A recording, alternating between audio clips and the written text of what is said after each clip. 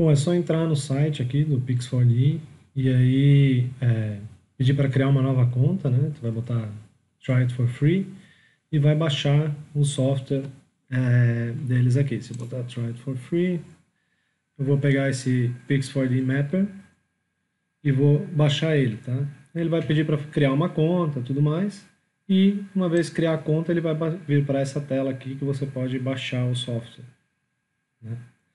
Baixou o software e instalou, ele vai abrir nessa tela aqui. Aí é só criar um novo projeto e eu vou selecionar a pasta onde estão as minhas imagens. Né? No meu caso aqui, é... pegar aqui o Chateau mesmo. Já tem um projeto aqui, mas eu não preciso começar ele. Deixa eu pegar Catedral. Tá? Então, não tem nada aqui, eu vou selecionar o folder. Vou selecionar a pasta que ele vai, vai buscar os arquivos daquela pasta. E vou dar um nome para o meu projeto. Vou botar lá Catedral. Versão 1. Aí eu posso tentar mais de um. Novo projeto. E Next. Eu vou precisar adicionar pelo menos três imagens. Vamos lá, adicionar imagens. E ele está lá na minha pasta. Tá? Posso selecionar todas as imagens que eu tenho disponível. E ele vai conferir, ó, são 190 imagens, ele está conferindo se está tudo certo. Dou Next, ele está carregando para o software. E aqui ele vai mostrar né, se todas as informações necessárias estão. Então ele está dizendo que está utilizando a, o GPS, que já vem na imagem, está utilizando a orientação e a, a localização geográfica, padrão. Aí está me dando os dados de cada foto aqui, né? latitude, longitude, altitude, precisão e aí a orientação da câmera e da, do drone. Então tá tudo certinho aqui, é só dar um next. Uh, posso deixar a unidade em metros mesmo, deixa tá. Bom, aí uma vez que ele processou as imagens, eu tenho que dizer qual é o tipo de projeto que eu quero fazer. Né? Então se eu quero fazer mapas, modelos ou multiespectral. Né? Então, botar modelo, né? não quero fazer um mapeamento, é, curvas de nível, quero fazer um modelo. Vou selecionar o modelo, aí ele tem a opção de é, do que, que os outputs que ele vai me dar, né, as saídas, que é o Point Cloud e o 3D Mesh, que é o que eu quero. Está me dando algumas informações a respeito de como fazer isso e Finish. Na minha aba aqui, ó, Map View, ele está me dando o quê? Ele está me dando a localização no mapa, de onde foi feito o voo, em volta da catedral. E isso aqui são os pontos onde o drone tirou uma foto. Né? A partir disso, eu tenho aqui em processamento, três tipos de processamento. Né? Processamento inicial é a primeira construção que ele vai fazer. A partir dessa construção, ele vai criar, então, o Point Cloud e a malha. E esse terceiro aqui é para fazer o ortomosaico, né? para fazer o, o, o, mapa de alturas, por exemplo, que seria para usar para curva de nível, para o mapeamento. Esse aqui a gente não precisa para o modelo especificamente. E eu não vou fazer os dois juntos porque esse processamento demoraria muito tempo. Então, primeiro eu vou fazer o processamento inicial para eu ter uma ideia de como é que está. E depois do processamento inicial, eu vou fazer a conferência do, do meu modelo, para daí eu fazer no meu Point Cloud Mesh. Esse é, processo inicial ele é bem rápido, tá? então eu posso começar com ele. Está selecionado. Se eu botar aqui em Ray Cloud, no momento ele não tem nada, né? não tem nenhum raio, não foi nada processado.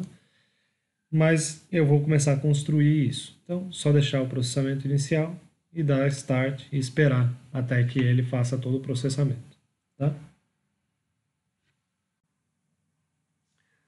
Então, quando ele acabar o processamento, ele vai mostrar essa tela né, com Quality Report. Você pode botar aqui para clicar para ver o, a avaliação da qualidade do projeto.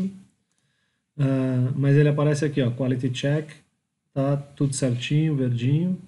E o georreferenciamento, ele deve ter encontrado algum, algumas imagens ali que está com algum problema, mas isso aqui não interfere, podemos seguir.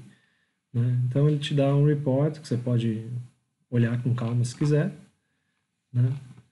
E posso fechar isso aqui. Agora ele já pulou ali do Map View para o Ray Cloud. Né? Então ele tem, eu tenho a disposição das câmeras, se eu aproximar aqui com o scroll do mouse, tem a disposição das câmeras, com as imagens, né, onde ela foi, então isso aqui seria a posição do drone, e a imagem relacionada a cada uma dessas fotos que foi tirada. Né? Um, eu posso clicar aqui e ele desabilita aquilo, né, para não poluir, ou clicar para eu poder selecionar, por exemplo, uma foto específica aqui, ó, tá? Mas, parando de selecionar alguma coisa, é, ele abriu todas as fotos aqui, né, mas eu posso desabilitar isso aqui. Aqui eu tenho os raios, então cada um desse ponto é um, um é feito a partir de várias fotos, né? e isso aqui vai servir de base para eu fazer depois a nuvem adensada, né? o point cloud propriamente dito. Isso aqui são só os primeiros pontos para ele ver se está tudo certo. Aí o que acontece é o seguinte, né? Então nós temos aqui, por exemplo, a imagem da Nossa Senhora, e isso aqui depois a gente vai ver que vai dar alguns problemas. Ó. Esses pontos que estão flutuando aqui, eles são pontos que são de céu e não da, da Nossa Senhora especificamente. Ó. Pegou uma árvore ali no meio, ele tem alguns pontos que estão fora. Esse ponto não tem nada a ver com as costas da Nossa Senhora. E aí a gente vai ter que eliminar alguns desses pontos ou ajustar eles para que ele tenha um ajuste mais fino, né? para que ele fique mais fácil da gente conseguir é, não ter erros aqui em cima. Né? Isso aqui fique com a forma da Nossa Senhora e não com a, uma bolha imensa. Esse tipo de ajuste fino, então, eu posso fazer de várias maneiras. Né? Uma das maneiras é criar novos pontos. Então, eu poderia, por exemplo, vir aqui, uh, selecionar aí o centro da, da cruz aqui nela, né? cliquei duas vezes nessa foto, e eu posso criar um novo ponto. Né? Posso vir aqui, ó, New Points, New Type Point, e botar aqui em cima. Eu marquei um ponto, agora eu tenho que é, ajustar em todas as fotos onde que estaria esse ponto aí. Vou reduzir um pouquinho o zoom aí para conseguir ver. Então tem que ir aqui. Uma coisa interessante é, é o seguinte, né? Esse zoom dentro da foto, ele indica uma precisão. Aqui eu não encontrei, eu vou deixar ele lá. Aqui eu posso encontrar o centro da cruz, ó. No momento que eu clico aqui,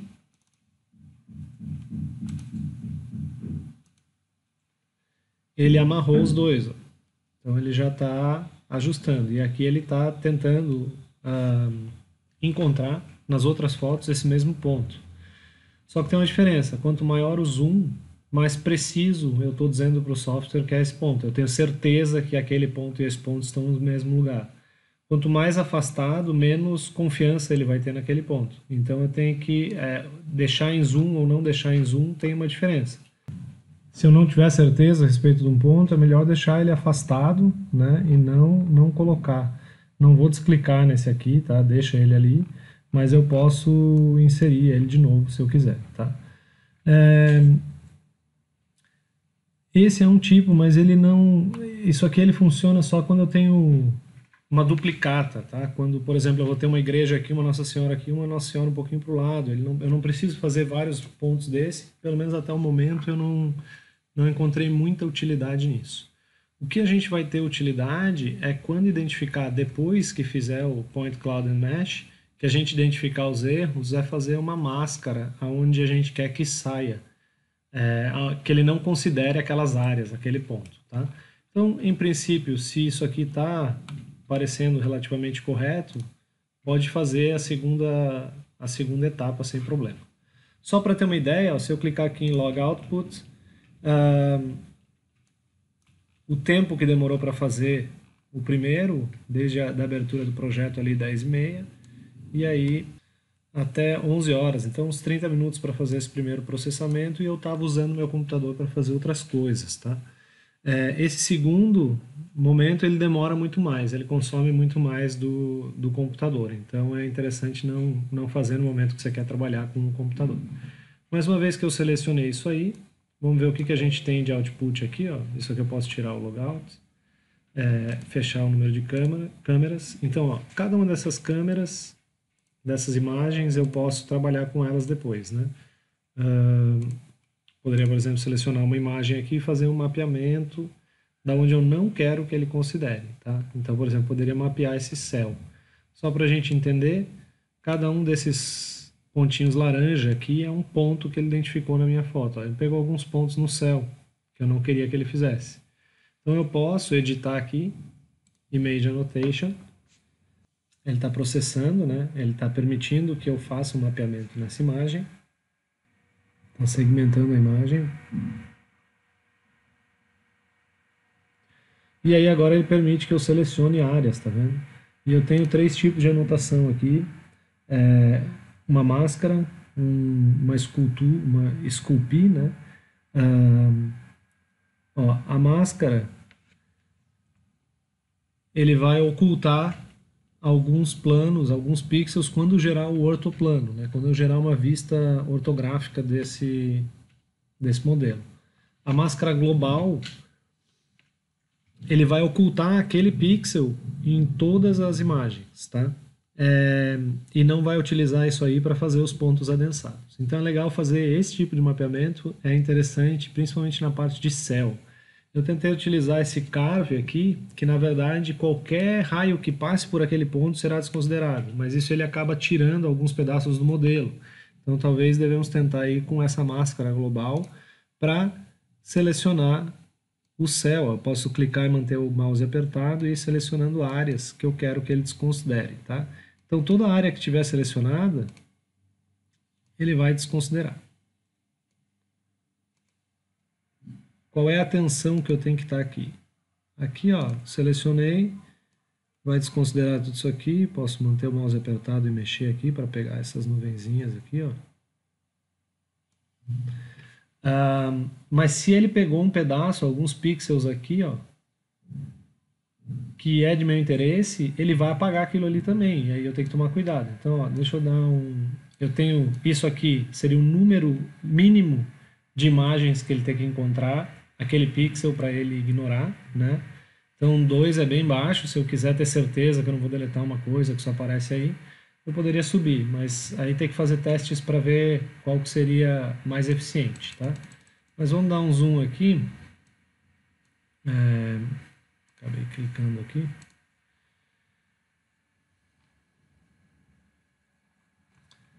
E dar uma olhada no que, que ele fez aqui, ó. Tá vendo que ele pegou um pedacinho da ponta aqui da torre? Se eu deixar assim, ele vai ocultar isso aqui, ele não vai aparecer no meu modelo, tá? Então eu tenho que dar um zoom e tentar eliminar isso aqui. Só que às vezes eu, ao eliminar isso aqui eu vou liberar um pedaço de céu também, né? Então é, esse é o, a parte do trabalho braçal que tem que ser feito para que a gente não acabe ocultando pedaços. Também hum, é, as chances da gente conseguir fazer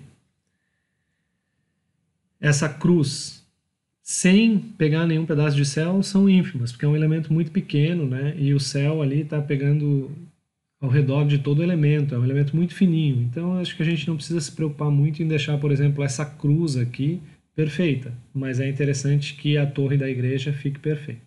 Uma vez que eu mascarei tudo que eu quiser, eu não vou, eu vou deixar esse pedaço de céu aqui mesmo, porque se eu clicar aqui é capaz dele ah, vamos fazer essa máscara, vai. Então note que quanto menor, quanto mais zoom eu tenho, uh, ó, aqui ele pega uma área inteira, né? Mas se eu dou um zoom, ele apaga, ele pega menos, ele, digamos, é mais preciso em relação ao número de a tonalidade do pixel. Aqui eu não vou pegar, que ele está pegando a pontinha ali, ó. Tá? E aí eu posso aplicar. No que eu aplicar, ele vai gerar essa máscara tá? em cima dessa imagem. E ele vai ignorar, então, esses pontos uh, não vai utilizar esses pontos como referência para fazer a nuvem de pontos adensada. Uma vez que isso foi aplicado, eu posso uh, sair e fazer isso em mais de uma imagem. Tá? Então a gente vai ver que nesse projeto aqui especificamente eu vou ter alguns problemas nesses recortes aqui. Ó, e eu tenho esse problema desse plano todo do telhado, tá vendo? Então esse plano todo do telhado é interessante de repente eu mexer ele pegar alguns pontos aqui, ó, e ajustar alguns pontos nesse plano do telhado, para baixar o plano do telhado inteiro. Então, vou pegar um ponto mais atrás aqui.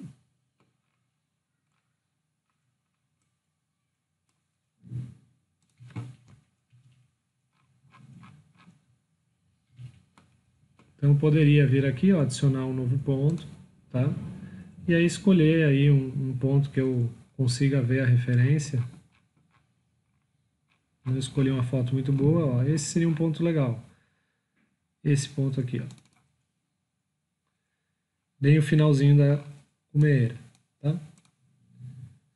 Então, boto ali o ponto. Agora eu tenho que achar um outro momento que eu vejo a cumeira.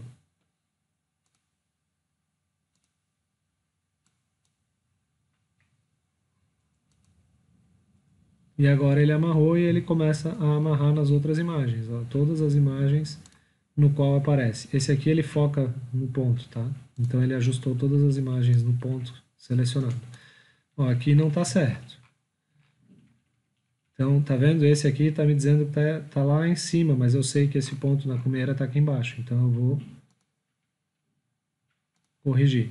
Como eu não estou vendo o ponto diretamente, eu não vou clicar ele num zoom muito grande, é bom um zoom menor, tá? E é assim é o trabalho que a gente tem que fazer para afinar o modelo. Não é que precisa de muitos pontos, mas olha, ele começa a amarrar esses pontos e eu posso começar a ajustar isso aqui, ó. Sei que aquela comeira não tá lá, tá aqui, ó. Não preciso fazer todas as imagens, tá? Então é interessante fazer umas 3, 4, Pra, e se alguma discrepante, assim, ó, se eu vi que tem, eu posso clicar para ajustar. Ok?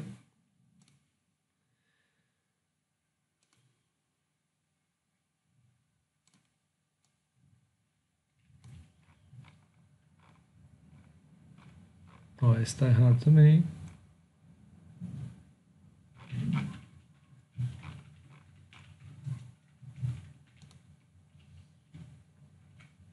E aí eu dou um apply, ele está corrigindo. E aí ele criou esse segundo ponto aqui, tá vendo?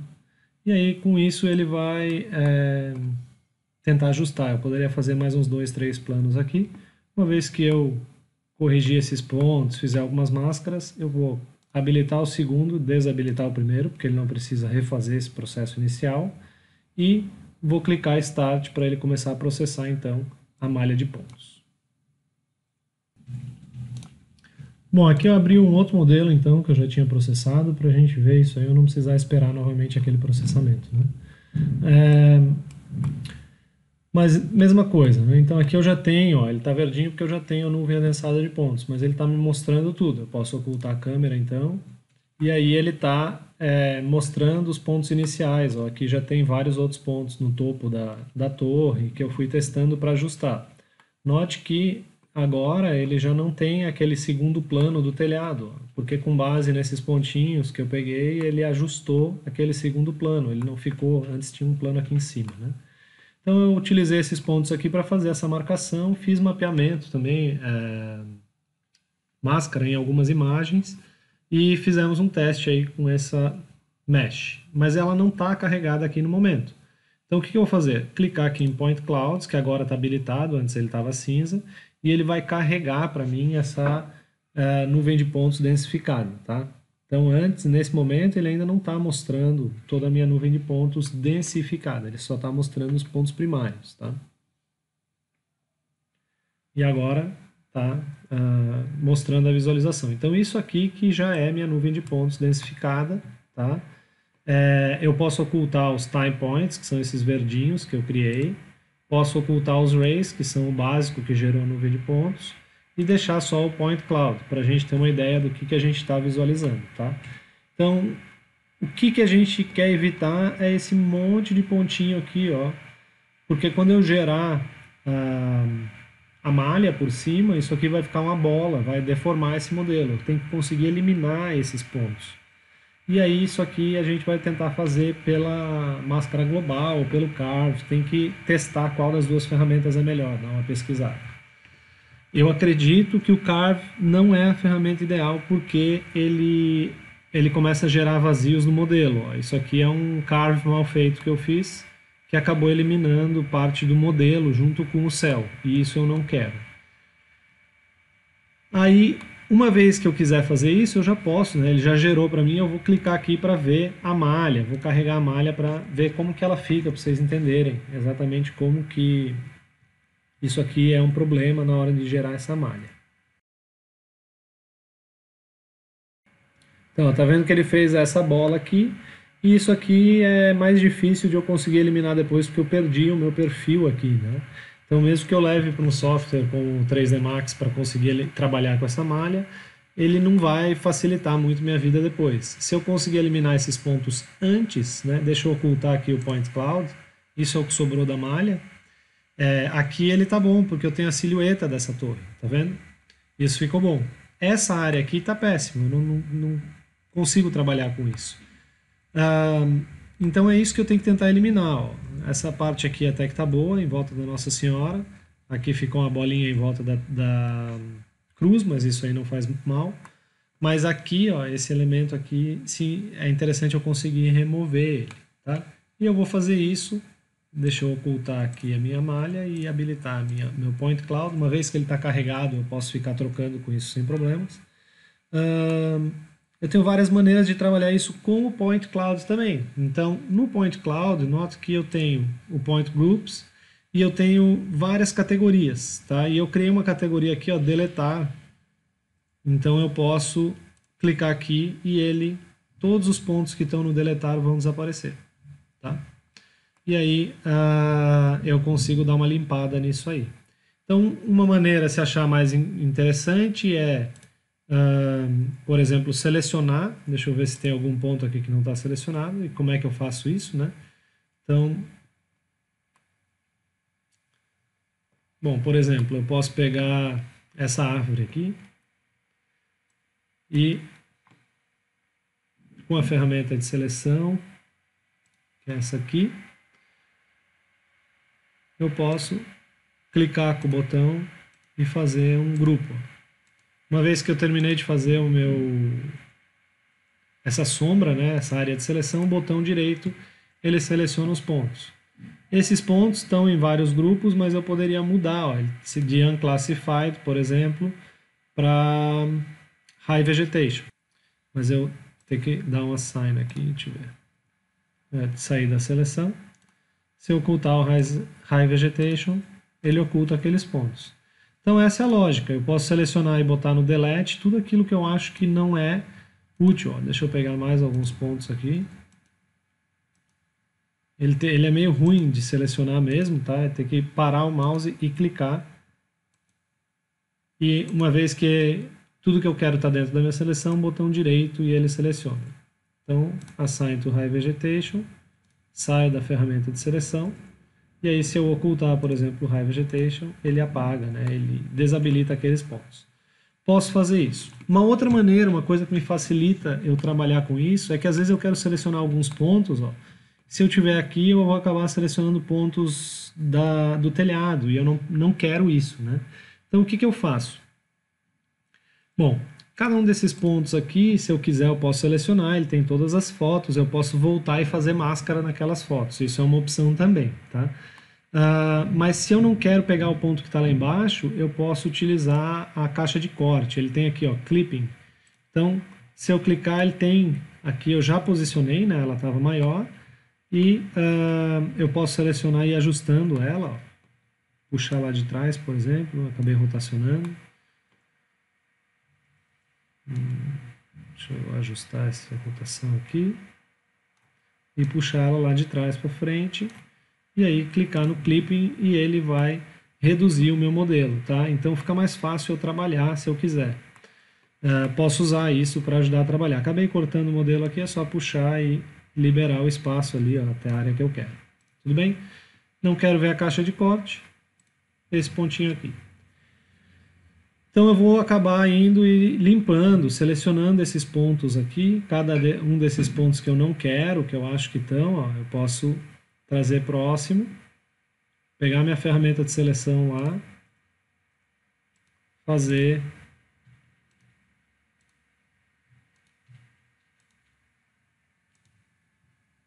uma máscara. Botão direito, ele seleciona tudo que está dentro daquela, daquele quadradinho. E eu vou botar, ó, delete, assign. Então ele vai apagar, ó. só que aqui eu tenho que tomar cuidado se eu não apaguei nada do modelo. Acho que eu apaguei. Uma vez que eu fizer isso, e eu vou desabilitar o que eu não quero aqui, e aí eu vou reprocessar o segundo ponto. Tá? E aí ele vai processar somente com base nos que tiverem habilitados. Porque essa malha aqui ela está feita com base em todos os pontos adensados e não somente nesses que eu quero. Tá? Então mesmo que eu tenha ocultado aqueles pontos, né, se eu habilitar o meu mesh, o meu mesh ainda está considerando aqueles pontos que eu coloquei em delete. Ó. Ele está aparecendo ali. Então eu posso ocultar isso aqui, né? Posso ir lá em processo e só gerar, gerar novamente o 3D Mesh. Tá? Se eu clicar aqui, ele vai fazer somente o 3D Mesh com base naquilo ali. Uh, se eu fiz máscara, ocultei ponto, eu também posso utilizar esse Reoptimize ou Rematch and, Reop and Optimize. Tá? Mas aí eu posso ir lá e gerar então esse 3D Textured Mesh, né, que é a malha de pontos com a textura já, é, um JPEG com toda a textura necessária. E o tipo de saída que vai sair é, se eu botar aqui em Processing Options, Cloud Point and Mesh, eu tenho a aba ali, ó, 3D Textured Mesh, e eu posso exportar FBX, objeto e PLY. Tá?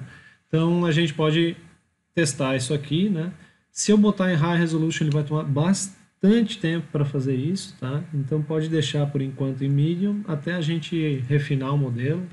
E aí uma vez que a gente esteja bem satisfeito com ele, a gente pode fazer um high resolution aí, deixar rodando.